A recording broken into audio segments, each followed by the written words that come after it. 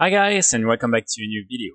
In today's video, I will be talking about the time walking event for the Burning Crusade. This is an event that just started today and that will last until next week. And I will explain how you can make some gold very easily during this event. So all you want to do is go on all your different characters that can queue for time walking and you just want to queue for the random time walking dungeons.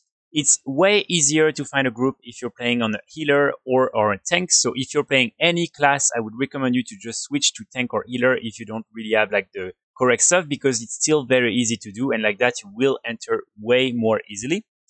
After that, all you want to do is complete the dungeon and on the last boss, once per character, you will get one of these swirling time warped vial. And when you complete the quest with this vial, you will receive 500 of the time warp badges. And this is really what we're after in today's video. So what I would recommend you to do is really to do that on all your different characters.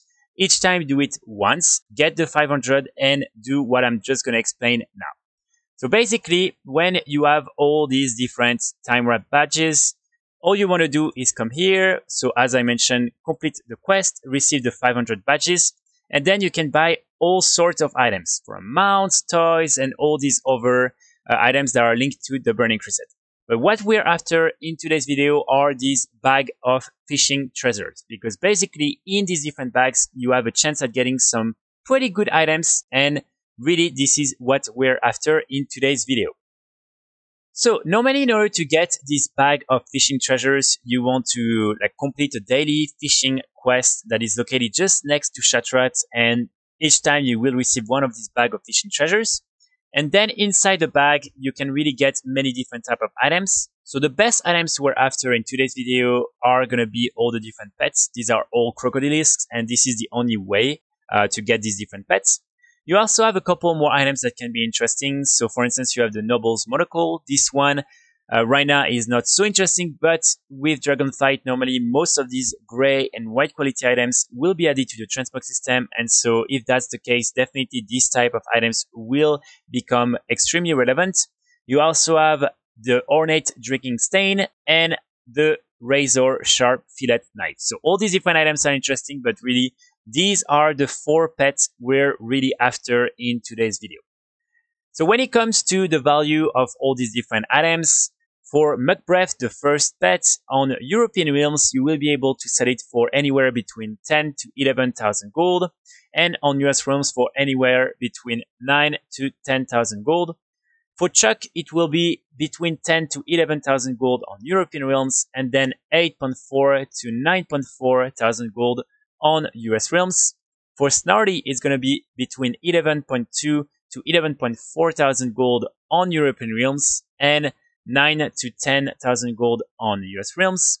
For Toothy, it's going to be between 9 to 10,000 gold on European realms and 7.5 to 8.4 thousand gold on US realms. And then after that, for instance, for the Nobles Monocle, as you can see right now on European realms, you can sell it for anywhere between 20 to 64,000 gold and on US realms 25 to 46,000 gold. And for the Ornate Drinking stein, it's like anywhere between 10 to 43,000 gold on European realms and 8 to 100k on US realms. So normally, again, on average, you will get a little bit more than 500 per run uh, on each character. For instance, if you're doing it on a character that has a little bonus, you will normally get even more, so like up to 600 in total. After that, you will normally be able to buy three to four of these bags per character if you really just do this dungeon in 10 minutes and then directly go and buy these different bags. So let me try just now to buy like these different bags. So I'm going to buy four of them and see if I'm lucky or not. Again, keep in mind that it's only like 11% chance each time. So many times you won't get anything good, but this is again, something you can do pretty easily and you can try luck and maybe get one of these pets. So let me open these ones. Okay, so that's already one pet. Here, that's another pet. So actually pretty good so far. Here, I got also this uh, ornate drinking stein, and that's going to be pretty much it. And of course, you can sell the rest as well on the auction house, but this is really what we're after. And again, after that, all you want to do is click on the pet, learn it, and cage it. And like that, you will then be able to sell it on the auction house uh, for, again, a pretty good value on most realms. And as you can see on another of my characters, I opened four more of these different bags. And this time I got three pets and also two of the daggers. So definitely you will get quite a lot of pets and items and it's definitely interesting. So really this is extremely easy to do. I would really recommend you to do it on all your different characters that can do these different dungeons. Just one dungeon and then you will get the quest. And after that, the five or 600 uh, time warp badges and like that you can make quite a lot of gold with these different bags. So that's going to be pretty much it for today's video. I really hope you will be able to make some gold during this event. I will be back very soon with more guides and more videos. And in the meantime, I wish you all a great week. Bye.